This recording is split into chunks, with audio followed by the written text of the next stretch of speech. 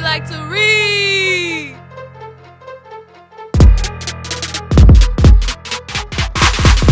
See Harry Potter, know that you wanna pick it on up, go read with your mama. Doesn't really matter about the genre, it could be a funny comedy or a drama. Pick up a book, start reading out. Power the words, make you say, wow. Don't worry about the money cause you get it for free. Just going over to your local library.